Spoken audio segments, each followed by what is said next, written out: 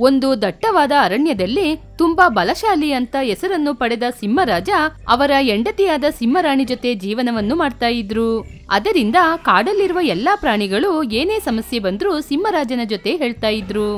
ಸಿಂಹರಾಜ ಅವರ ಸಮಸ್ಯೆಗೆ ಒಳ್ಳೆ ಪರಿಹಾರವನ್ನು ಹುಡುಕಿ ಅದನ್ನು ಸರಿಪಡಿಸುತ್ತಿದ್ದರು.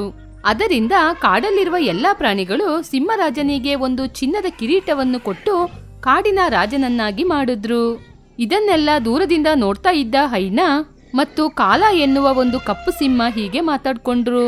ನೋಡಿದ್ರ ಪ್ರಭು? ನಿಮ್ಮ ಬಾಲ್ಯ ಸ್ನೇಹಿತ ಕಾಡಿಗೆ ರಾಜನಾದ್ರು. ಇನ್ನು ಹೇಳ್ಬೇಕಾದ್ರೆ ಈ ಕಾಡಲ್ಲಿರುವ ಪ್ರಾಣಿಗಳು ಆ ಸಿಂಹವನ್ನು ನೋಡಿ ಜೈ ಜೈ ಅಂತಿದ್ದಾರೆ.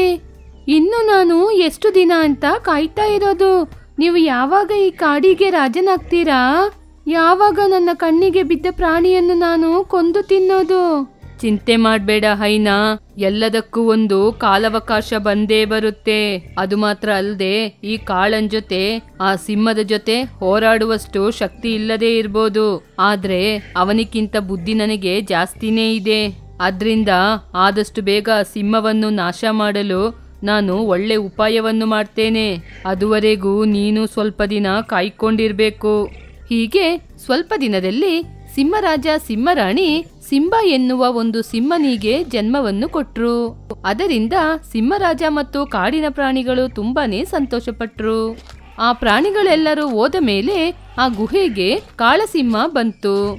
ಸಿಂಹರಾಜನಿಗೆ ನಾನು ಶುಭಾಶಯ ಹೇಳೋಣ ಅಂತಾನೆ ಬಂದೆ. ನಿಮಗೆ ಸಿಂಹ ಹುಟ್ಟಿರುವ ವಿಷಯ ನನಗೆ ಇವಾಗನೇ ಗೊತ್ತಾಯಿತು. ತುಂಬಾ ಸಂತೋಷ. ಆ ವಿಷಯ ಗೊತ್ತಾದ ತಕ್ಷಣ ನಾನು ನಿಮಗೆ ಶುಭಾಶಯ ಹೇಳೋಣ ಅಂತಾನೆ ಇಷ್ಟು ದೂರ ಬಂದೆ. ಧನ್ಯವಾದಗಳು ಕಾಲ, ತುಂಬ ಧನ್ಯವಾದಗಳು. ನನಗೆ ಈ ಧನ್ಯವಾದ ಮಾತ್ರ ಸಾಕಾಗಲ್ಲ ರಾಜ. ನೀವು ನನಗೆ ಒಂದು ಸಹಾಯ ಕೂಡ ಮಾಡಬೇಕು. ಏನು, ನಿನಗೆ ನನ್ನ ಸಹಾಯ ಬೇಕಾಗಿದೆಯಾ? ಆಶ್ಚರ್ಯವಾಗಿದೆ. ಸರಿ ಹೇಳು, ಏನು ಸಹಾಯ ಬೇಕು ನಿನಗೆ? ಏನೂ ಇಲ್ಲ ರಾಜ. ನನಗೂ ಕೂಡ ಸ್ವಲ್ಪ ದಿನಗಳ ಹಿಂದೆ ಒಂದು ಮಗು ಜನಿಸಿತು. ಆ ಮಗುಗೆ ನೀವು ಆಶೀರ್ವಾದವನ್ನು ಮಾಡಬೇಕಲ್ವಾ?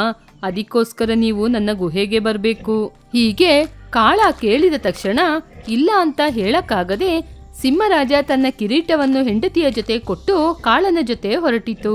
ಕಾಳನ ಗುಹೆಯಲ್ಲಿ ಯಾರೂ ಇಲ್ಲದಿರುವುದನ್ನು ನೋಡಿ ಸಿಂಹರಾಜ, ಎಲ್ಲಿ ಇದ್ದಾನೆ ಕಾಳ ನಿನ್ನ ಮಗ? ಇವಾಗ ಅಷ್ಟೇ ಅವನನ್ನು ಸ್ನಾನ ಮಾಡಿಸಲು ಅಂತ ನದಿ ಹತ್ರ ಕರ್ಕೊಂಡೋಗಿರ್ಬೇಕು. ಅವರು ಬರತನಕ ನನ್ನ ಉಪಚಾರವನ್ನು ನೀವು ಸ್ವೀಕರಿಸಲೇಬೇಕು.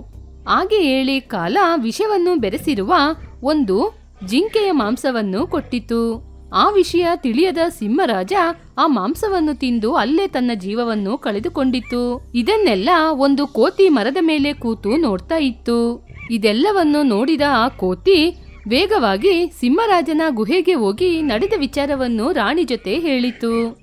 ಆ ಕಾಳ ಇಷ್ಟು ದೊಡ್ಡ ಅನ್ಯಾಯ ಮಾಡ್ತಾನೆ ಅಂತ ನಾನು ಯೋಚನೆ ಕೂಡ ಮಾಡಿಲ್ಲ. ಅಮ್ಮ, ಸಿಂಹರಾಣಿ, ಈ ವಿಷಯವನ್ನು ಕೇಳಿ ನೀವು ಈ ಊರು ಬಿಟ್ಟು ಸಿಂಬವನ್ನು ಕರ್ಕೊಂಡು ಎಲ್ಲಿಯಾದರೂ ಹೋಗ್ಬಿಡಿ. ಆ ಕಾಳ ಇವಾಗ ಇಲ್ಲಿಗೆ ಬರ್ಬೋದು. ಹಾಗೆ ಹೇಳಿದ ತಕ್ಷಣ ಸಿಂಹರಾಣಿ ಸಿಂಬವನ್ನು ಕರೆದುಕೊಂಡು ಸಿಂಹರಾಜನ ಚಿನ್ನದ ಕಿರೀಟವನ್ನು ತೆಗೆದುಕೊಂಡು ಗುಹೆಯ ಹಿಂಭಾಗದಿಂದ ಹೋಯಿತು. ಹೀಗೆ ಅಲ್ಲಿಂದ ಹೋದ ಸಿಂಹರಾಣಿ ಪಕ್ಕದ ಊರಲ್ಲಿ ಒಂದು ಸಣ್ಣ ಗುಹೆಯಲ್ಲಿ ವಾಸ ಮಾಡ್ತಿತ್ತು. ಅದು ತೆಗೆದುಕೊಂಡು ಬಂದ ಚಿನ್ನದ ಕಿರೀಟವನ್ನು ಪಕ್ಕದಲ್ಲೇ ಒಂದು ಗುಂಡಿಯನ್ನು ತೆಗೆದು ಅದರೊಳಗೆ ಮುಚ್ಚಿ ಹಾಕಿತು. ಅಂದಿನಿಂದ ಸಿಂಹರಾಣಿ ಸಿಂಬನಿಗೆ ಊಟ ಕೊಡಲು ಹೊರಗಡೆ ಹೋಗಿ ಬೇಟೆಯಾಡಿ ಮಾಂಸವನ್ನು ತಂದು ಕೊಡ್ತಾ ಇತ್ತು. ಹೀಗೆ ಸಿಂಹರಾಣಿ ಮತ್ತು ಸಿಂಬ ಅವರ ರಾಜ್ಯವನ್ನು ಬಿಟ್ಟು ಹೊರಗಡೆ ಇರುವ ಒಂದು ಕಾಡಿನಲ್ಲಿ ಜೀವನವನ್ನು ಮಾಡ್ತಾ ಇದ್ರು. ಆಗ ಸಿಂಬಾ ತಾಯಿಯನ್ನು ನೋಡಿ ಹೀಗೆ ಕೇಳಿದ, ಅಮ್ಮ, ಯಾಕಮ್ಮ ಯಾವಾಗ್ಲೂ ನನ್ನ ಈ ಗುಹೆಯೊಳಗೆ ಬಿಟ್ಟು ಹೋಗ್ತೀಯಾ? ಹೊರಗೆ ಹೋಗುವಾಗ ಯಾಕೆ ನನ್ನನ್ನು ಕರ್ಕೊಂಡು ಹೋಗೋದಿಲ್ಲ ಗುಹೆಯ ಹೊರಗಡೆ ಇರುವ ಪ್ರಪಂಚ ಚೆನ್ನಾಗಿಲ್ಲ. ಅದ್ರಿಂದಾನೆ ನಿನ್ನ ಹೊರಗಡೆ ಕರ್ಕೊಂಡು ಹೋಗೋದಿಲ್ಲ ನನ್ನನ್ನು ಕೇಳದೆ ನೀನು ಎಲ್ಲೂ ಹೋಗ್ಬಾರ್ದು. ಸರಿ ಅಮ್ಮ, ನಿಮಗೆ ಗೊತ್ತಿಲ್ಲದೆ ಯಾವಾಗ್ಲೂ ನಾನು ಹೊರಗಡೆ ಹೋಗೋದಿಲ್ಲ. ಹೀಗೆ ಸಿಂಬಾ ತಾಯಿಗೆ ಕೊಟ್ಟ ಮಾತಿನಂತೆ ಚಿಕ್ಕ ವಯಸ್ಸಿನಿಂದ ಗುಹೆಯೊಳಗೆ ಬೆಳೆದ. ಹೀಗೆ ಸ್ವಲ್ಪ ವರ್ಷಗಳ ನಂತರ ಚಿಕ್ಕ ಮರಿಯಾಗಿದ್ದ ಸಿಂಬಾ ದೊಡ್ಡವನಾಗಿ ಬೆಳೆದ. ಹೀಗಿರುವಾಗ ಸಿಂಹರಾಣಿ ಸಿಂಬನಿಗೆ ಊಟ ಕೊಟ್ಟು ಮಲಗಿ ನಿದ್ರೆಯನ್ನು ಮಾಡಿತು. ಆಗ ಸಿಂಬ ತನ್ನ ತಾಯಿ ಕೊಟ್ಟ ಊಟವನ್ನು ಮಾಡದೆ ಹೊರಗಿನ ಪ್ರಪಂಚವನ್ನು ನೋಡ್ಬೇಕು ಅಂತ ಹೊರಗಡೆ ಹೋದ. ಆಗ ಸಿಂಬನಿಗೆ ಮಣ್ಣಿನ ಒಳಗೆ ಏನೋ ಹೊಳಿತಾ ಇರುವ ಹಾಗೆ ಕಾಣಿಸಿತು.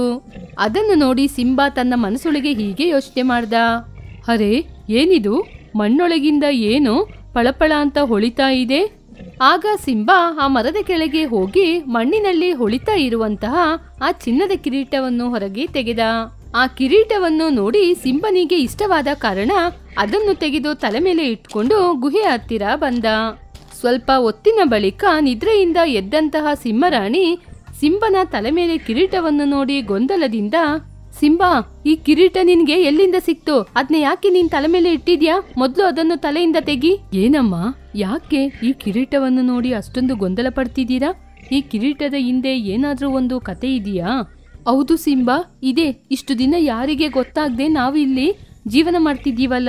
ಅದಕ್ಕೆ ಕಾರಣ ಈ ಕಿರೀಟನೇ. ಇಷ್ಟು ದಿನ ಮುಚ್ಚಿಟ್ಟಂತಹ ವಿಷಯವನ್ನು ಸಿಂಬಾ ಬಳಿ ಹೇಳಿತು. ತನ್ನ ತಂದೆಯನ್ನು ಕೊಂದ ಬಗ್ಗೆ ಎಲ್ಲ ವಿಚಾರವನ್ನು ಹೇಳಿತು. ಅದನ್ನು ಕೇಳಿ ಸಿಂಬನಿಗೆ ತುಂಬಾನೇ ಕೋಪ ಬಂತು. ಅಮ್ಮ, ಆ ಕಾಳ ಇರುವಂತ ಸ್ಥಳಕ್ಕೆ ನನ್ನನ್ನು ಕರ್ಕೊಂಡೋಗಮ್ಮ. ಇವಾಗ್ಲೇ ಅವನನ್ನು ಕೊಂದು ನನ್ನ ತಂದೆಯ ಆತ್ಮಕ್ಕೆ ಶಾಂತಿ ಕೊಡ್ತೀನಿ. ಹೀಗೆ ಸಿಂಹರಾಣಿ ಕೂಡ ಸಿಂಬನನ್ನು ಕರ್ಕೊಂಡು ಕಾಳ ಇರುವ ಆ ಕಾಡಿಗೆ ಹೋದ್ರು. ಆಗ ದಾರಿಯಲ್ಲಿ ವಿರೋಧಿ ಎನ್ನುವ ಇನ್ನೊಂದು ಸಿಂಹ ಒಂದು ಜಿಂಕೆಯನ್ನು ಬೆರೆಸಿಕೊಂಡು ಹೋಗ್ತಾ ಇತ್ತು. ಜಿಂಕೆ ಮರಿ ಅದರ ಜೊತೆಯಿಂದ ತಪ್ಪಿಸಿಕೊಂಡು ಓಡ್ತಾ ಇತ್ತು. ಅಯ್ಯಯ್ಯೋ, ಯಾರಾದ್ರೂ ನನ್ನ ಈ ಸಿಂಹದ ಬಳಿಯಿಂದ ಕಾಪಾಡಿ ಕಾಪಾಡಿ. ಹೀಗೆ ಆ ಜಿಂಕೆಯ ಶಬ್ದವನ್ನು ಕೇಳಿ ಸಿಂಬ ಆ ವಿರೋಧಿ ಸಿಂಹದ ಬಳಿ ಹೋಗಿ ಹೀಗೆ ಹೇಳಿತು. ನೋಡ್ಲಿಕ್ಕೆ ತುಂಬಾ ದೃಢವಾಗಿದ್ದೀಯಾ? ಹೋಗಿ ಹೋಗಿ ಒಂದು ಜಿಂಕೆಯನ್ನು ಬೇಟೆಯಾಡ್ತಿದ್ದೀಯಾ? ನಿನಗೆ ನಾಚಿಕೆ ಆಗ್ತಿಲ್ವಾ? ಅದನ್ನು ಹೇಳಲು ನೀನ್ಯಾರೋ? ನನಗಿಷ್ಟವಾದರೆ ಚಿಕ್ಕ ಮಕ್ಕಳು ಮಾತ್ರ ಅಲ್ಲ.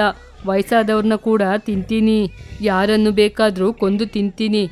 ಇದು ನಮ್ಮಪ್ಪ ಕಾಳನ ರಾಜ್ಯ. ಹಾಗೆ ಅಂತ ಸಿಂಹ ಹೇಳಿದ ತಕ್ಷಣ ಸಿಂಬನಿಗೆ ತುಂಬಾನೇ ಕೋಪ ಬಂದು ಆ ಸಿಂಹವನ್ನು ಒಡೆದು ಹೊಡೆದು ಕೊಂದಿತ್ತು. ತಕ್ಷಣ ಅಲ್ಲಿಗೆ ಬಂದ ಎಲ್ಲ ಕಾಡು ಪ್ರಾಣಿಗಳು ಸಿಂಬನನ್ನು ನೋಡಿ ಆ ಸಿಂಹದ ಜೊತೆಯಿಂದ ತಮ್ಮನ್ನು ಕಾಪಾಡಿದ್ದಕ್ಕೆ ಧನ್ಯವಾದವನ್ನು ಹೇಳಿದ್ರು. ಆಗ ಅಲ್ಲಿರುವ ಪ್ರಾಣಿಗಳಲ್ಲಿ ಒಂದು ಆನೆ ಬಂದು ನಿನ್ನನ್ನು ನೋಡ್ಲಿಕ್ಕೆ ಒಬ್ಬ ವೀರನ ಮಗನ ಹಾಗೆ ಕಾಣ್ತಾ ಇದ್ದೀಯಾ? ನೀನು ಯಾರಪ್ಪ? ನಿಮ್ಮ ಸಿಂಹರಾಜನ ಮಗನೇ ಆನೆ. ಹೀಗೆ ಸಿಂಹರಾಣಿ ಮುಂದೆ ಬಂದು ಹೇಳಿತು. ಆಗ ಎಲ್ಲ ಪ್ರಾಣಿಗಳು ಸಿಂಹ ಮತ್ತು ರಾಣಿ ಕಾಡಿಗೆ ಬಂದಿರುವುದನ್ನು ನೋಡಿ ತುಂಬಾನೇ ಸಂತೋಷಪಟ್ರು. ಎಲ್ಲರೂ ಸಿಂಬನನ್ನು ನೋಡಿ ಜೈ ಜೈ ಅಂತ ಘೋಷವನ್ನು ಮಾಡಿದ್ರು.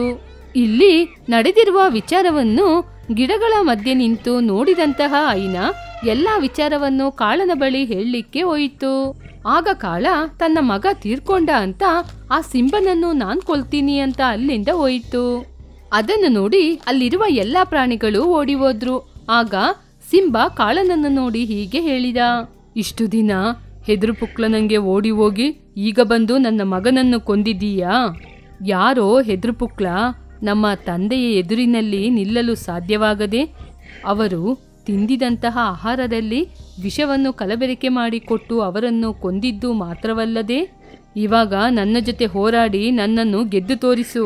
ಹೀಗೆ ಸಿಂಬಾ ಹೇಳಿದ ತಕ್ಷಣ ವಯಸ್ಸಾದ ಕಾಲ ಸಿಂಬನ ಬಳಿ ಜಗಳವನ್ನು ಮಾಡಿತು. ಆದರೆ ಸಿಂಬಾ ಒಂದೇ ಏಟಿನಲ್ಲಿ ಆ ಕಾಳನನ್ನು ಒಡೆದು ಕೊಂದ. ಹೀಗೆ ಕಾಳನಿಂದ ಆ ಕಾಡನ್ನು ಕಾಪಾಡಿದ ಸಿಂಬಾ.